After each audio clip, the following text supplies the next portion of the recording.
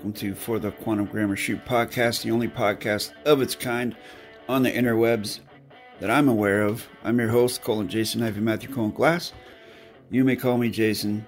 And in this podcast, I will discuss various topics as viewed the best I can through the lens of the wonderful technology known as correct sentence structure communication, parse syntax grammar, brought to the public in 1988 by the late Colin David Wynn Colin Miller.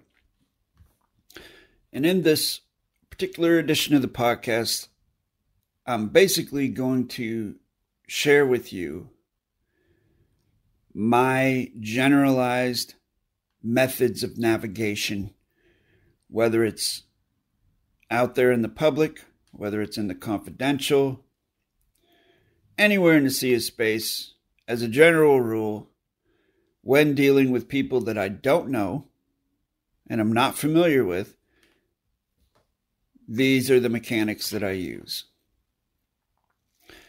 Now, I will tell you that very rare is the scenario when I have an issue with someone, when static occurs, when it doesn't go smooth. Very rarely, like one in a million. Usually, whether I'm on the phone with a sales person, a business, or whether I'm in person, which is even better for these types of navigations, for the smoothness of these types of navigations, it very rarely ever erupts into negativity or aggressiveness or conflict. And I really put it down to the three principles maintenance of rule one, rule equal, position of peace and neutrality, balance of the honor and the grace. It's really that simple. And it does not matter what culture the other contract parties are, what race the other contract parties are. It just it doesn't matter. The mechanics that I use presuppose that everything's going to go smoothly. Now you may say, "Well, Jason, why why are you bringing up race?" To bring up race is to promote racism. I bring it up in a knowledge cultivation context here because, well, I try 100% best not to think in terms of blankets, blanket statements or to judge people based upon their race or their culture. I realize that there are many, many, many people out there on earth who do use race and culture to ju- automatically judge other people or predetermine how they're going to treat them at the very least. Like if you're okay, let's say for example, let's say for example, your neighborhood, wherever you live, now this is just a theoretical example, okay?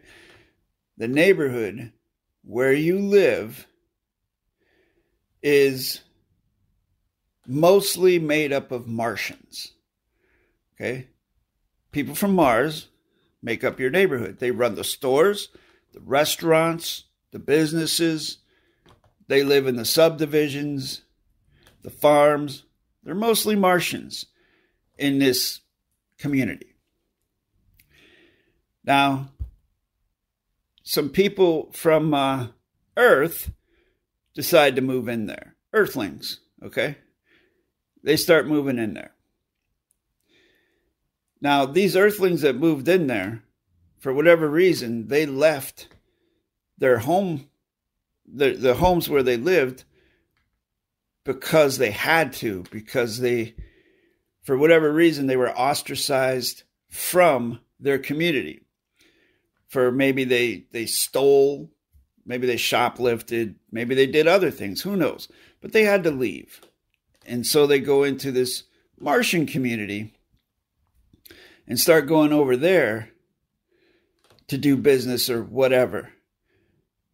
And they just happen to rob a Martian store. They just happen to dine and dash at a Martian restaurant.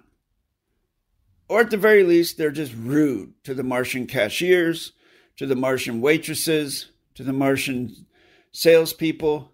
They're just rude.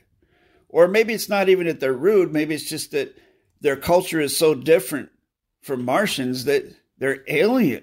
The Earthlings are alien, and, and Martians construe the way these Earthlings act as rude. So, therefore, Martians begin to look at Earthlings in a certain way.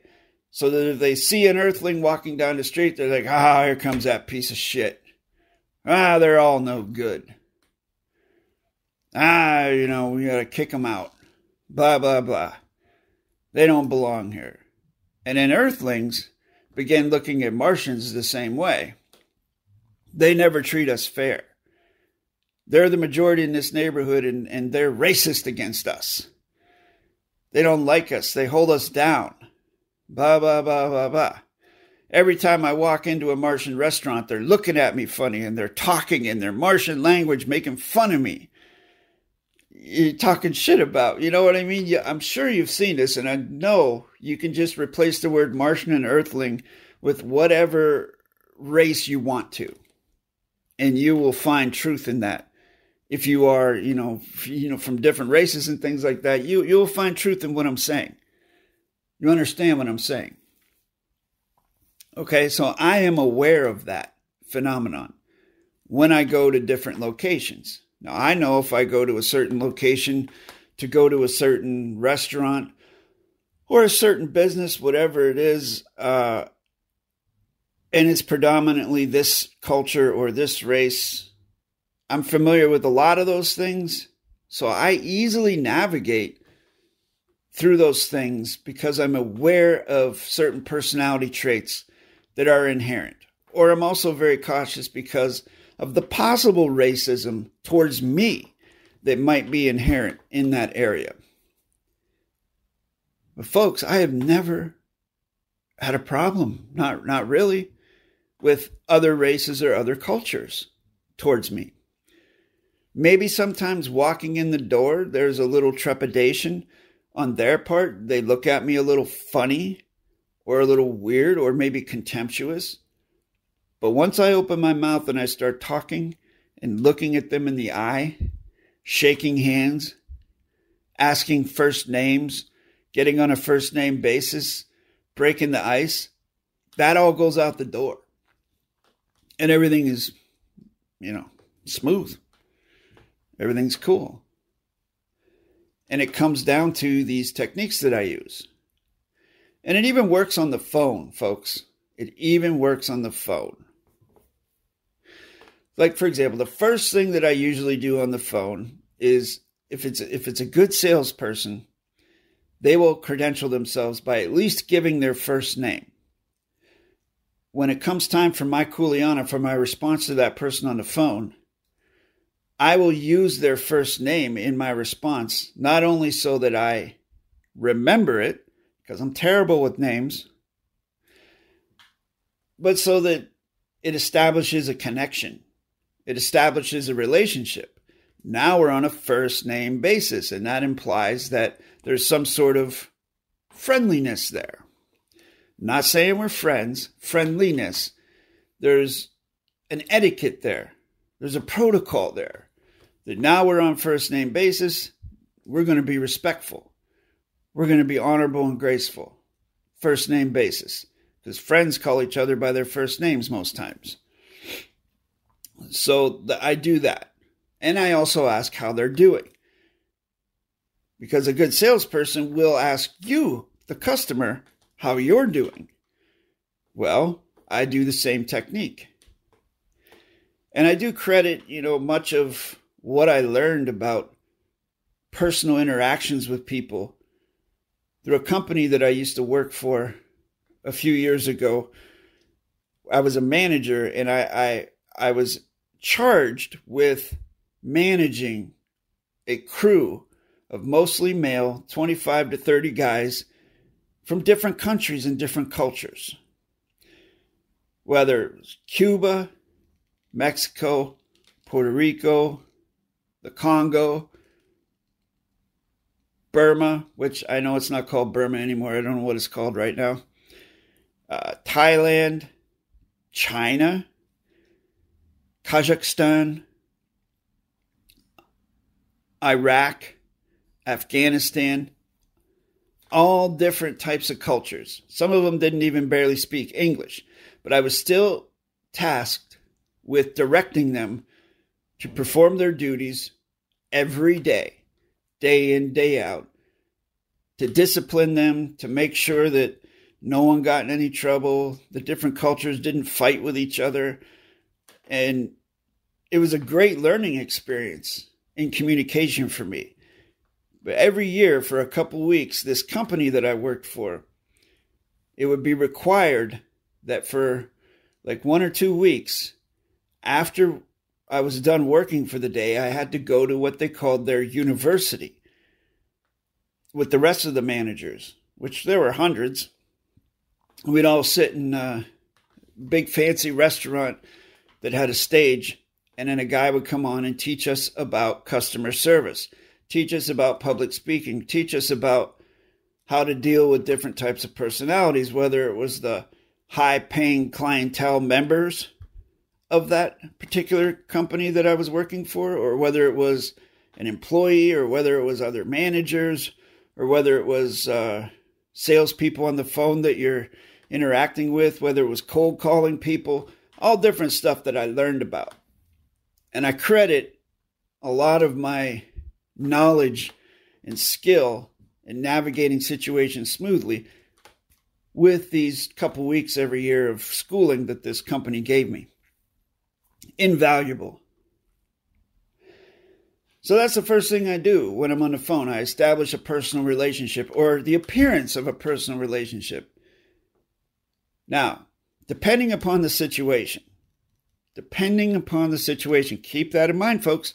Depending upon the situation, I will either establish that I have knowledge of something and speak from that position, or I will establish that I have knowledge of something, but also establish that there are a lot of things I don't know about and come in with that humility and sort of position myself as someone who's willing to learn from the other person at the other end of the line on the phone.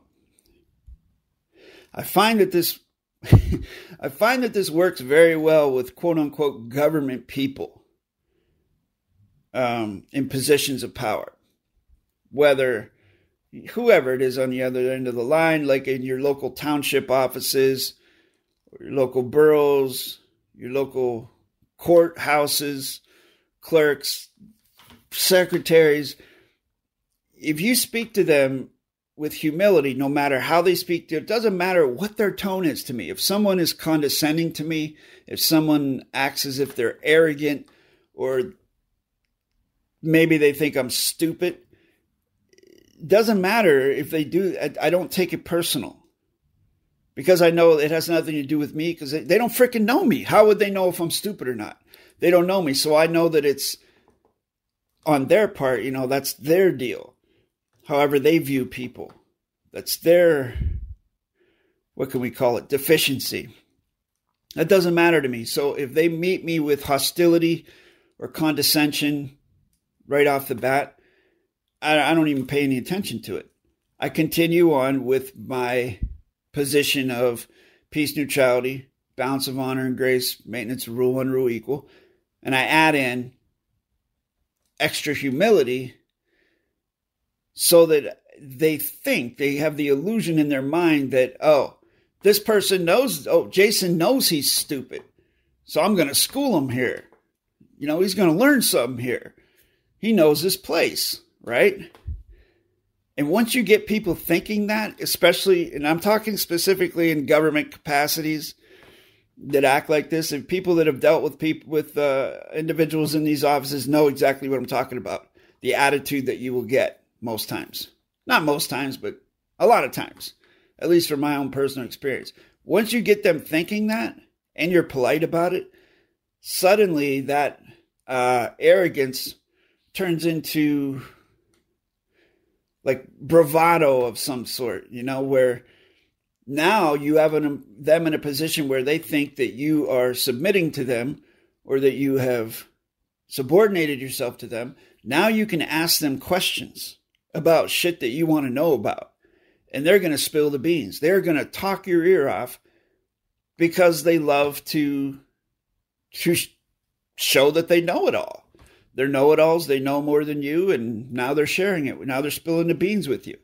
And you can get a lot of information that way. And over time, if you establish a relationship with those particular people, you remember their first names. And as you establish a relationship with them, on down the line, their arrogance will dissipate once they realize who they're dealing with, which has happened to me at my local post office and places like that, or down at the local township building. They they they treat me like I, I don't even know how to explain it, folks. They're they're super nice to me. They smile. They're friendly. However, they look at me with some sort of weird, I don't even know if I can call it fear in their eyes, but there is something in their eyes where they're just uncertain about me. And they're just nice as pie, no matter what they may personally be thinking in their heads, which doesn't matter to me what, what they're thinking as long as they're being nice to me and as long as we can get done what needs to get done. I don't care if they secretly hate me. That's on them. Again, it's on them what they think of me. I can't have jurisdiction over that. I just worry about getting done what I need to have done using those three principles. So that's a little hint, a little little bit of uh, knowledge on my part in dealing with people in the fiction construct. Now I'm going to get to dealing with people in this what we will call the quantum grammar community, which I don't know if anybody even calls it that anymore. I've been calling it since that since day one. Raven and I have been calling it that since day one since before that name actually got hijacked from me and used by another entity. But those of you who've been following me for many years know exactly who I'm talking about. They, uh, this group likes to steal my stuff and claim it as their own. But I digress. So when I deal with people Uh, you know, in the quantum grammar community context, I'm a little bit more strict because now I'm in a different position. Now I'm in the position of master of my vessel. And when people contact me via email, I'm the one that's in charge. They are my guest. And so certain terms and conditions must be observed, must be followed. I make those terms and conditions very clear within the first, at least within the first email. I provide links to videos to watch as to how you are expected to conduct yourself. For example, when you email me, you I tell you that you must include your full correct name in every email. People just don't follow that. For some reason, either they don't watch the video or they don't listen. And that is one of the major, major stumbling blocks, I think, for some people in learning this correct sentence structure, communication, parser, syntax, grammar. They don't read the contracts. And then later on down the line, when they get called out on it, they get butthurt. They cry about it. They think I'm being unfair. They think I took advantage of them when actually in this venue, this venue of quantum grammar, you are held to a higher standard than most people in the fiction. You are held to a higher standard, much higher level of performance. And if you can't maintain that, then you have no business being here. And you certainly don't have any business using this in a foreign vessel and dry dock or a situation like that. If you don't have that particular eye for detail. So I'm just going to give one quick example here. There was a gentleman who contacted me on January 3rd, uh, and the email is not marked confidential, so I, I can share a little bit of it, uh, although I'm not going to give away their identity. They verbally say to me they want to get my knowledge. They've been studying for seven years, uh, studying it all day, every day, which, by the way, from their emails and the subsequent emails I got from them, I, I wouldn't know that they studied this all day, every day for seven years because they sh- they exhibit no knowledge of it. But the point is, in this very first email, they don't include their correct name. So I send out my standard email response where I tell them, you know my full correct name. I ask you give me the same consideration and share your full correct name. Otherwise, we're not going to be contracting. And then I also offer a video consult where I say any further questions would be asked and answered there. Would you like me to schedule a video consult? On January 6th, they respond back with another email that has nothing to do with what I asked them. They're talking about something being filed into a court record in San Bernardino, California and nothing to do with consultations or anything like that. They do include their correct name in this particular email on January 6th. And then on January 7th, I correspond back using their correct name, but giving them the same exact email that I sent before without the correct name, offering them a consultation. This is the second time I've offered them a consultation. On the 9th, they respond back for the wish of the knowledge of your knowledge, for the correct of the use of the language, for the peace with the war between the Jason Matthew Glass and, and then they give their own name. I mean, what in the hell is that for seven years of studying every day, all day? But that doesn't answer any question that doesn't answer, is not a clear yes or no that they want a consultation on January 9th. So then I respond back on January 9th. I have now asked you a yes or no I have now asked you a yes or no question twice and you have not given a clear yes or no answer. I will ask a third and final time before breaking bulk. Would you like me to schedule a consultation for you? That's January 9th. That's the third offer.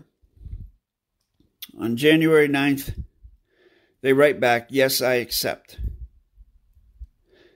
And then on January 9th, they send another email, Yes, I wish to learn. And neither of those emails that they just wrote did they include their correct name at the bottom, only in the one. So already they're not, I'm obviously they didn't watch the video on terms and conditions. So then on January uh, 9th, I send them a schedule possibility for a consultation. January 9th, I send them a schedule possibility for a video consultation. On January 19th, 10 days later, they say, I want your knowledge. Blah, blah, blah, blah, blah. And they call, you know, cops, officers are just thieves and blah, blah, blah. Nothing to do with consultations or grammar or anything. Just, I guess, basically complaining. On the 19th, 10 days later, after I sent them an offer for a scheduled location for a brief consultation.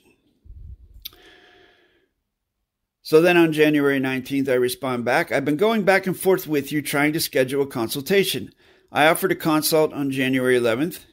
It took you over a week to respond, and you don't even acknowledge the offer. Please contact me when you are serious and are in a more stable position to proceed. Thank you. To me, that's responding with honor and grace because I told them in the third offer that I was going to break bulk. So here we go. January 20th, then they start giving excuses that they're not in the greatest position, trying to survive, phones acting up. Uh, but again, they're not accepting any offer. They're not asking for any offer or have consultation or anything like that. Just talking about what they're doing with their personal life, which has nothing to do with me or what I do or learning correct sentence structure. Because if you, folks, whatever your life situation is, it doesn't matter if you're in at the top of the most expensive penthouse or in the lowest gutter. If you are not in a position to learn grammar, then why are you aboard my vessel? Some of you may take that as harsh. And, it, you know, of course, it might be harsh for some of you. This is the reality. If you're not in a position to learn, you're not in a position to learn. If you're not in a position to keep a schedule and have a stable learning environment, then you should probably get that established before you try to learn this because it's going to be almost impossible to learn it unless you have a stable position and now space to learn it. So then on January 26th, which by the way, I didn't respond to that email because why would I? Clearly, they didn't ask a question or anything like that, so I'm not going to respond. And I'm not going to engage with this individual because they do seem to live a very chaotic life, haphazard. So then on January 26th, they say, I wish to learn your knowledge and join your class. And then they go on and complain about the judges and things like that again. Again, folks, they don't use their correct name at the bottom of the email. They don't follow the terms and conditions. So I'm trying to guide them to that area. I send them a exact facsimile of the first email I sent them where I asked them to share their full correct name because they know my full correct name so I know who the hell I'm talking to. Just credential yourself. January 26th I sent that. On February 6th, they contact me again asking to speak with me. And again, they do not use their full correct name. They don't use their name at all. So they have violated the terms and conditions, continuously violate the terms and conditions of my vessel construct. And so I send them back yet another confidential Kuleana email asking to share asking them to share their full correct name and if they want me to schedule them a consultation. So it just goes on and on. If a person is not in an ideal situation to learn this where they can follow simple rules and they're not distracted by noise of what's going on outside themselves. If they're not in a position to do that, then they're basically looking for a lifeline, which I do not provide lifelines. I provide grammar classes for those in a position to learn correct sentence structure. If an individual wants a lifeline to help them to survive out in the streets, I mean, there are shelters, there are programs in your local communities that you can apply for. I don't, I'm not involved in those things. My heart goes out to those people who are in those types of situations because I've been in those situations before in my life as well. And I also had to figure out how to get myself out of that type of situation and into a more uh, suitable environment for progressing as a human being and, and a productive member on this earth so that I can move forward with what I wanted to do. Learning correct sentence structure in those in those positions is not ideal. I have tried to teach people in similar situations correct sentence structure and it's just it's just it's, the brain space isn't there because there's so much going on in people people's lives where they have to worry about where their next meal's coming from they have to worry about you know protecting themselves safeguarding themselves why would you want to learn correct sentence structure in, in those scenarios when you have so much other stuff to deal with. So, I don't know. You can leave your uh, message in the comments how you feel about how, you know, I deal with people in the confidential through my email address, which, by the way, this individual, none of his emails were marked confidential. So that's why I'm sharing it. And I did not share his identity. So no one's going to know who it is, anyways, except him if he listens to this. So I've not broken any kind. And, anyways, it's my vessel. So I can do pretty much what I want, especially in scenarios where someone is completely and blatantly ignoring the terms and conditions of the vessel they're a guest of. Now, I don't think this individual is bad or malicious or anything like that. I just don't think that they're in a position to contract consistently with anyone or to do any type of consistent performance or to learn this grammar.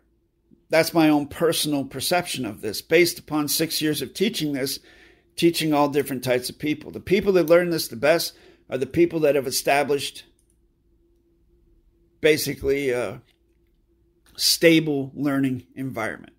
Let's put it that way. All right, folks. Again, let me know what you think in the comments. Um, maybe some of you have similar experiences as teachers. I don't know if you're a teacher, if you teach anything. Um, but this is my experience, and I've shared it with you, and I hope you found value in it. Thank you. If you would like to learn correct sentence structure, communication, parse, syntax, grammar, I offer several choices. The first one, and the easiest one, is to study the almost 900 free public videos on this YouTube channel that you're watching right now. The second option, if you want to see new content, is to click the join button on my main YouTube page or under any video that you're watching. Click the join button and you will see two tiers of membership. If you choose the second tier, the Loyalist Contributor tier, and you join that, for a monthly support donation, you'll get new content, fresh content, exclusive content not available to the public every month. But keep in mind, there's already almost 900 videos here free to the public to study. And the third option is to contact me at the email address at the bottom of your screen, and this is for the serious students only, and apply for a correct grammar workshop. But please include your correct name when contacting me, and I'll set up a 10 to 15 minute video consultation, and you and I will have a conversation. You can ask me whatever you want. I'll answer your questions. I'll do the same with you. I'll ask you questions, and we'll see if indeed you are really serious or not. Thank you.